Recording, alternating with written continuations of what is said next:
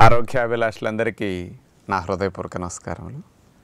ఈరోజు ఆడవారి ముఖ సౌందర్యాన్ని పెంచే మడ్ ప్యాక్ గురించి తెలుసుకోబోతున్నాం.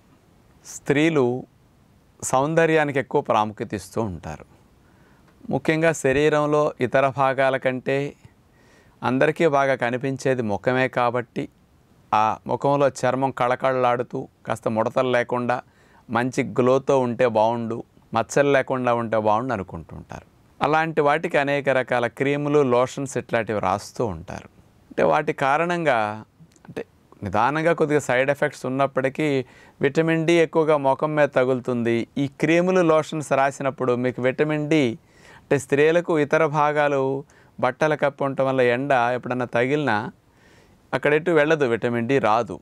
కాస్త చేతులు ఒక్కటి ఉంటాయి ముఖ భాగమే తగులుతూ ఉంటుంది. క్రీములు లోషన్స్ ఈ భాగానికి రాశారనుకోండి ఇక మీకు విటమిన్ డి శరీరంలోకి అసలు చేరదు రక్షణ వ్యవస్థ తగ్గిపోతుంది. ఆ క్రీములు లోషన్స్లో ఉండే కెమికల్ ఎఫెక్ట్కి మరి స్కిన్ లేయర్స్ అవి కూడా సెల్స్ కూడా త్వరగా డ్యామేజ్ అవుతాయి త్వరగా రిప్లేస్ చేసుకోవాలి స్కిన్ కూడా. వాటికి ఉండాల్సినంత లైఫ్ ఉండదు ఈ కెమికల్ ఎఫెక్ట్ ద్వారా. అందుకని న్యాచురల్గా స్త్రీలకు ఈ ముఖ సౌందర్యం పెరగటానికి ఏం చేయాలి? రక్త ప్రసరణ అనేది శరీరంలో అన్నిటికంటే చర్మానికి సహజంగా తక్కువ ఉంటుంది. ఎందుచేతనంటే అన్ని అవయవాల్ని కప్పి పైన ఉన్నది కదా. చేత అన్ని అవయవాలు వాడుకోగా చివరికి చర్మానికి చేరుతుందన్నమాట మనకి. ముఖ్యంగా మరి చర్మ కణాలు ఆరోగ్యవంతంగా బాగా ఉండాలి అంటే వాటికి పోషకాలు బాగా వెళ్ళాలి. గాలి నీరు ఆహార పదార్థాలు ఇవన్నీ బాగా ఇక్కడికి చేరాలి. ఈ మంచి చేరుతున్నాయనుకోండి ఆటోమేటిక్గా వ్యర్థాలు కూడా బయటికి వెళ్ళిపోతూ ఉంటాయి. అందుకని ఎప్పుడు వ్యర్థాలు అప్పుడు ఇట్లాంటివన్నీ బయటికి వెళ్ళాలి మంచివన్నీ చేరాలి. అప్పుడే స్కిన్ సెల్స్ హెల్దీగా ఉంటాయి. ఈ మజిల్కి కూడా సర్క్యులేషన్ బాగా పెరిగితే ఈ ఫేషియల్ మజిల్స్ అవి చక్కగా స్మూత్ మజిల్స్ ఉంటాయి కదా అవన్నీ మీకు హెల్దీగా ఉంటాయి. అందుకని ప్రతి సెల్ కూడా హెల్దీగా ఉన్నప్పుడే మీ స్కిన్ టోన్ బాగుంటుంది. అంచేత ఇవన్నీ బాగుండాలంటే వాటికి రక్త ప్రసరణ బాగా జరగాలి. ఏ లోషన్స్ క్రీమ్స్ ఆయింట్మెంట్స్ ఇలాంటివి ఏ అప్లై చేసినా రక్త ప్రసరణ పెంచడానికి ఉండవండి. నేను చెప్పే ఇప్పుడు ట్రీట్మెంట్ న్యాచురల్గా రక్త ప్రసరణ స్కిన్కి ముఖ్యంగా ముఖ భాగానికి భలే పెంచేస్తుంది అనమాట ఇది. ఈ స్కిన్ కూడా లూజ్ అవ్వకుండా కొద్దిగా టైట్గా ఉండి స్కిన్ గ్లో పెరగటానికి బ్లడ్ సర్క్యులేషన్ ఈ మజిల్స్కి ఈ స్కిన్ సెల్స్కి బాగా పెరగటానికి మట్టి భలే ఉపయోగపడుతుంది. ముఖ్యంగా నల్లటి మట్టి. పొలాల్లో మనకు ఉంటుంది చూసారా? ఇప్పుడు మీ అందరం పల్లెటూరు నుంచి వచ్చిన వాళ్ళమే కాబట్టి సిటీల్లో దొరికే మట్టి కుదరదు. అందుకని మీ పేరెంట్స్ దగ్గర నుంచి పొలాల్లో మట్టి పై భాగం మట్టిని ఒక అడుగు వరకు తీసేసి లోపల మట్టి తీసుకోండి. ఎందుకంటే ఇవన్నీ ఎరువులు పురుగు మందులు కొట్టి ఉంటాయి కదా. జత ఒక అడుగు లోపల మట్టికి ఎంత చేరవు. జత అలాంటి లోపల నల్లటి మట్టి తెప్పించి వాళ్ళ పల్లెటూళ్ళు ఎవరైనా ఉన్నప్పుడు బండ పెట్టి కొట్టి తుక్కు తీసేసి ఆ మట్టిని ఎండ పెట్టేసుకోవచ్చు బండ పెట్టి కొట్టినా లేకపోతే మిక్సీ వేసి తిప్పిన మెత్తగా పౌడర్ అయిపోతుంది. అలాంటి మెత్తటి నల్లటి మట్టి పౌడర్. ఇలాంటి పౌడర్ చేసుకున్న మట్టిని ఇంట్లో ఉంచుకుని దీన్ని ఒక ఫైవ్ సిక్స్ అవర్స్ ముందు ఎప్పుడన్నా మనం నానపెట్టేసుకుంటే చల్లగా నాని ఉంటుందన్నమాట మెత్తగా పేస్ట్లా ఉంటుందన్నమాట. అలాంటి మట్టిని ముఖ భాగానికి అప్లై చేసేసేయండి. ఈ కళ్ళు ముక్కు రంధ్రాలు పెదాలు వదిలేసేసి మిగతా భాగాలన్నిటికీ అంటే మరి పల్చగా కలిపారనుకోండి నీళ్ళు ఎక్కువతో అది ఉండదు కారిపోతూ ఉంటుందన్నమాట. అంచేత అది చిక్కగా ఉండాలి కాబట్టి నీళ్ళు ఎంత కదిపి కలిపితే ఈ భాగానికి కాస్త మట్టి నిలుస్తుందో ఆ రకంగా నీళ్ళు కలుపుకోండి. అలా ఉంచేస్తే చల్లగా ఉంటుందన్నమాట. ఒకవేళ నీళ్ళు కలపడానికి కొంచెం ఎక్కువ కలిపినా నీళ్ళు పైకి తేరతాయి అడుగు మట్టి అట్లా తీసుకుంటే కాస్త చిక్కగా వస్తుంది. అలాంటి మట్టి మనం మొత్తం అప్లై చేయాలి. ఒక సుమారుగా అరంగులో మందంలో ఎంత పడితే అంత రాయండి. ఎందుకంటే చల్లదనం చాలా ఉపయోగం ఇక్కడ. ఈ మట్టి మందంగా ఉంటే ఎక్కువ కూలింగ్ వస్తుంది. పల్చగా రాస్తే కాసేపట్లో కూలింగ్ పోతుందన్నమాట. అంటే ఏదో ఒక ఒక పూత పూసినట్టుగా అట పూస్తే కుదరదు. కొంచెం మందంగా పట్టుకునేటట్టు పూయండి కాస్త మెల్లగా. ఏమవుతుంది ఇక్కడ అసలు? మట్టి ముఖానికి పూస్తే లాభం ఏమిటి? ఎందుకు రావచ్చు? లాభం అనేది రీజన్ తెలియాలి కదా మీకు? చేత దీనికి ఈ భాగంలో మట్టి పూసాం కాబట్టి చల్లగా ఉంటుంది మట్టి. ఈ చల్లబడ్డ మట్టిని ఈ చర్మం చల్లబరిచేస్తున్నది కదా ఈ మట్టి వల్ల ఈ చల్లబడ్డ చర్మాన్ని వెచ్చగా చేసేయాలి ఇమీడియట్గా. మరి బాడీ టెంపరేచర్ మనకి సుమారుగా ఇక్కడ థర్టీ థర్టీ ఫోర్ మధ్యలో అట్లా ఉంటుందనుకోండి మామూలుగా అయితే. ఇప్పుడు మట్టి వేసేసరికి ఏ ఇరవైకో వెళ్ళిపోతుంది ఇప్పుడు అక్కడ టెంపరేచర్. పద్దెనిమిది ఇరవై పదిహేను మధ్యలో వెళ్ళిపోతుంది అనమాట అంత చల్లగా ఉన్న స్కిన్ని మరి నార్మల్కి ముప్పై ముప్పై రెండు ముప్పై మూడు కన్నా తీసుకురావాలి. ఆ టెంపరేచర్కి తీసుకురావటం కోసం రక్తాన్ని మన బాడీ ఈ ఈ చల్లబడ్డ భాగం వద్దకు ఫోర్స్గా తోసేస్తుంది అనమాట ఇమీడియట్ యాక్షన్ అది. ఎందుకంటే ఉండవలసిన టెంపరేచర్ కంటే డౌన్ అయినప్పుడు బాడీ ఊరుకోదు. అంచేత ఈ చల్లబడ్డ చర్మాన్ని వెచ్చగా చేయటం కోసం రక్తం పంపేసరికి రక్తమంతా ముఖ భాగానికి బాగా వస్తుందన్నమాట ముఖ్యంగా.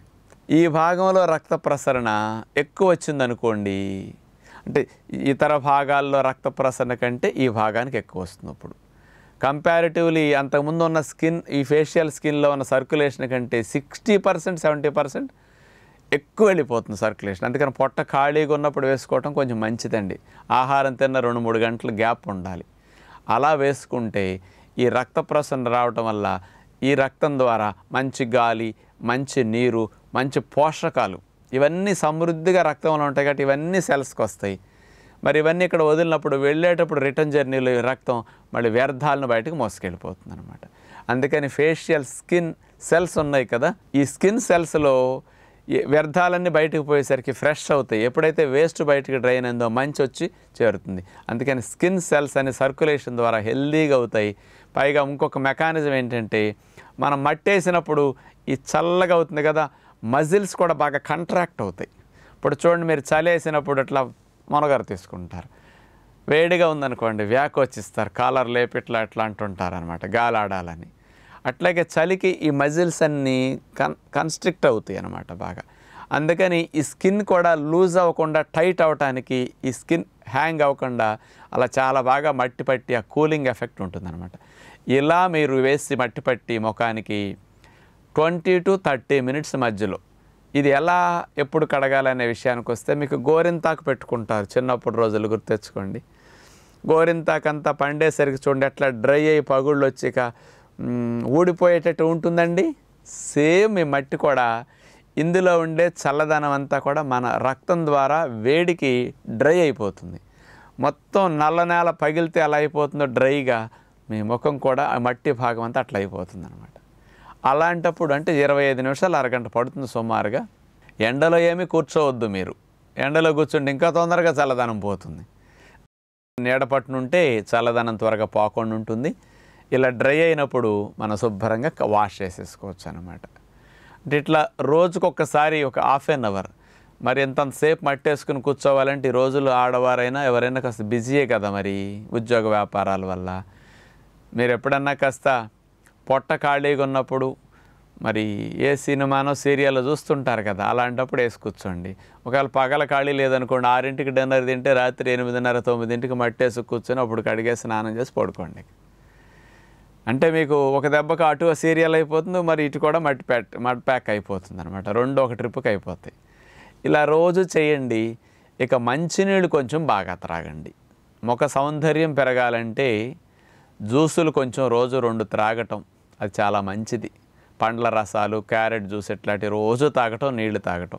దీని ద్వారా ఆ సెల్స్ కావలసిన విటమిన్ సి విటమిన్ ఏ బాగా వెళితే స్కిన్ టోన్ బాగుంటుంది మంచి హెల్దీగా ఉంటుంది అనమాట అందుకని రూపాయి ఖర్చు లేదు సైడ్ ఎఫెక్ట్ రాదు. స్కిన్ కూడా మంచిగా మట్టి అంతా రాయటం వల్ల భలే క్లీన్ అవుతుంది. సబ్బులు కూడా పెట్టి క్లీన్ చేయక్కర్లే మీకు. ముఖం ఫ్రెష్గా ఆ మట్టి స్మెల్ కూడా చాలా స్పెషల్గా బాగుంటుంది మీకు. అంతే తిన్నాళ్ళు రకరకాల మట్లన్నీ రకరకాల ట్రీట్మెంట్ లోషన్స్ వాడారు కదా. ఇప్పుడు న్యాచురల్గా ఇలాంటివి చేయండి. చక్కగా మీ సౌందర్యం పెరుగుతుంది. ఇక్కడ ఫోల్డ్స్ కూడా సరిగా రావు. కాస్త స్కిన్ కాస్త కలర్ఫుల్గా మచ్చలు గిచ్చలు పోయి ఎందుకంటే హీలింగ్ బాగుంటుంది కదా. అందుకని మొటాల వల్ల కురుపుల వల్ల ఏమైనా చిన్న చిన్న మచ్చలు వస్తే అవి కూడా శుభ్రంగా పోతాయి అన్నమాట మరి స్త్రీలకు కాస్త ఎక్కువగా సౌందర్యంగా ఇట్లా ముఖాన్ని కోరుకుంటుంటారు కాబట్టి అలాంటి వారికి ఇది బాగా ఉపయోగపడుతుందని అనిపించి దీని మీద దృష్టికి తీసుకొచ్చాం. అలాంటి మంచి మట్టి తెచ్చి పెట్టుకుని మీరు చక్కగా వాడుకుంటారని ఆశిస్తూ నమస్కారం.